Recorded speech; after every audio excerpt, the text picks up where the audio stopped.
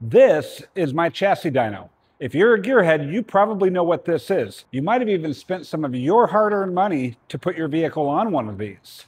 But if you're like most people, you know what a dyno does, but you don't really know how it does it. We're here to change that. Come along with me, and I'm going to give you a view into how machines like this work.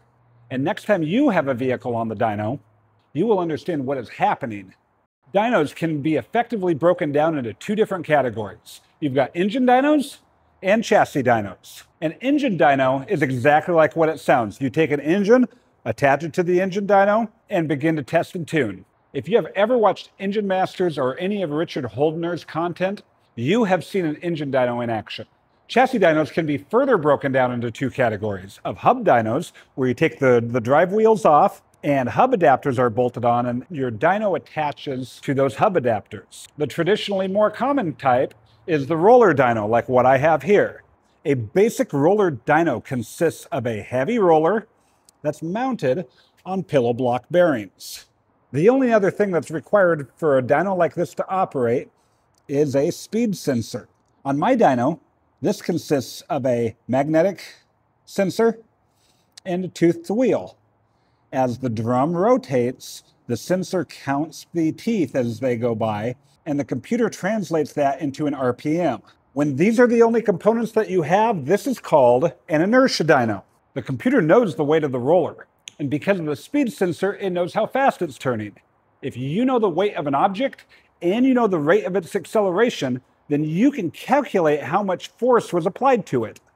One of the biggest drawbacks to an inertia dyno is that they measure change. If there's no change, there's no data. If you want to tune part throttle conditions, an inertia dyno is not the place to do that. The other drawback of inertia dynos is that high powered vehicles can sometimes accelerate that roller so quickly that it's impossible to gather any good data.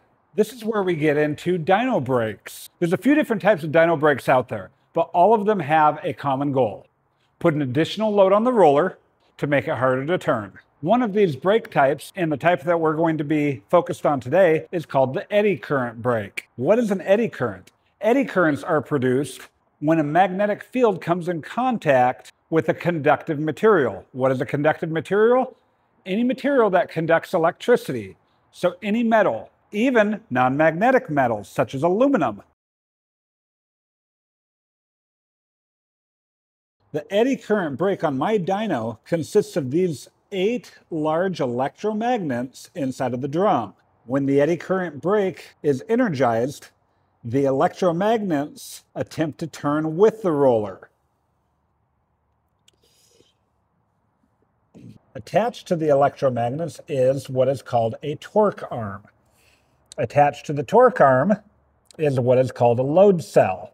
When the load cell is compressed or expanded, the computer gets a signal telling it how much force is being applied to the brake. In this case, the computer uses inertia calculations plus brake force to determine the amount of torque that the engine is putting out. So all the measurement that we've talked about so far is torque and RPM.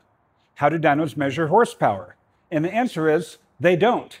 Dynos do not measure horsepower.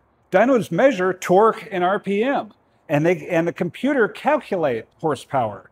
The formula for horsepower is torque times RPM divided by 5,252. Where does the 5252 come from? I don't know. I'm not a mathematician. I just use math to get me where I want to go, and that's the formula. I'd love to explore further with you this formula and how it's used, but we'll save that for another video. So that's pretty much it for the overview of the dyno and how it operates. Dynos aren't magic. They're a machine that takes measurements. So this should help you understand what's going on the next time a tuner is pushing buttons on a laptop in your car. You want to see more dyno content? You know what to do. Like, comment, subscribe. It really does help. And I'll see you on the next one.